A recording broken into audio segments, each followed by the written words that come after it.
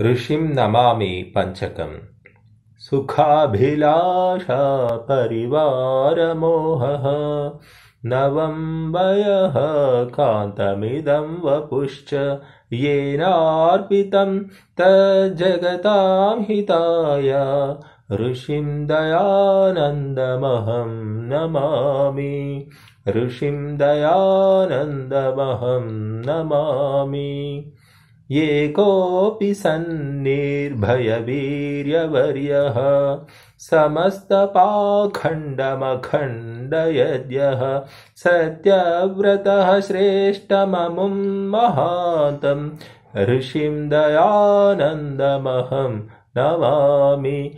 ऋषिं दयानन्दमहं नमामि नयं कृतान्तोऽप्यशकद्विजेतुं यस्याग्रतो बद्धकरः सतस्थो योगाग्निना दग्धसमस्तदोषं ऋषिं दयानन्दमहं नमामि।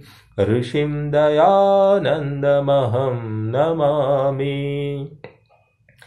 विषम्प्रदायाप्यकारकर्त्रे योदादनं तस्य हि रक्षणार्थं प्रेम्णा स्वशत्रूनपि मोहयन्तं। ऋषिं दयानन्दमहं नमामि।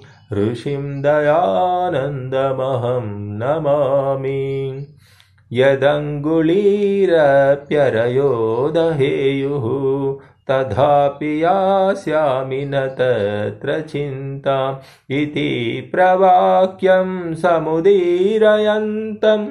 ऋषिं दयानन्दमहं नमामि। ऋषिं दयानन्दमहं नमामि